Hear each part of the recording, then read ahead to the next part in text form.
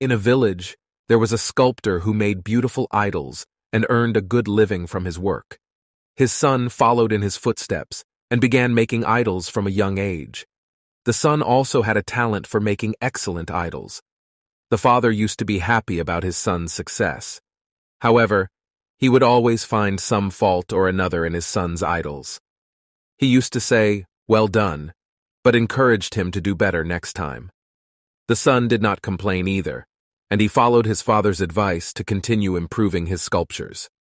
Because of constant improvement, the son's sculptures eventually became better than those of his father.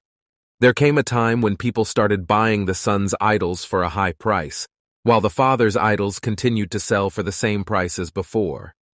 Despite this, the father continued to point out the shortcomings in his son's idols. However, the son was not feeling well now, and he used to accept those shortcomings in his idols without minding them, but he still made corrections to them.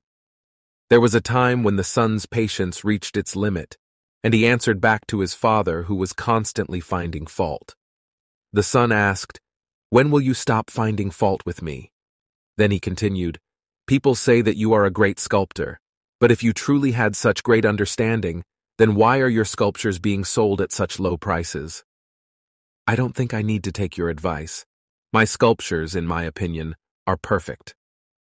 As a result, his father stopped giving advice to his son and stopped finding fault with his idols. The boy was happy for a few months, enjoying the praise and admiration for his idols. However, he soon noticed that people were no longer praising them as much as they used to, and the prices of his idols had stopped increasing.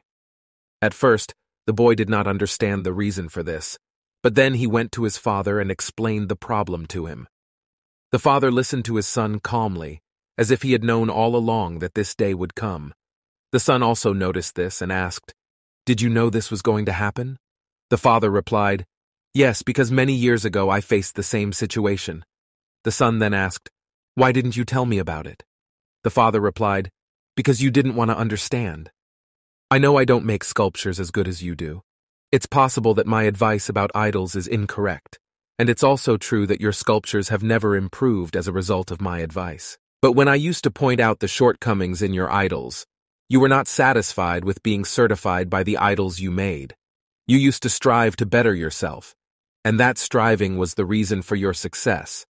However, the day you are satisfied with being certified by your work, and you also agree that it can't get any better, your growth has stopped. People always expect better from you, and this is the reason why you are no longer praised for your ideals, nor do you get paid much for them.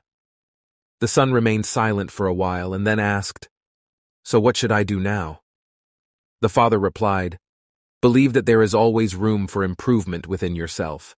This mindset is one thing that will consistently inspire and motivate you to become a better version of yourself. What do you learn from story?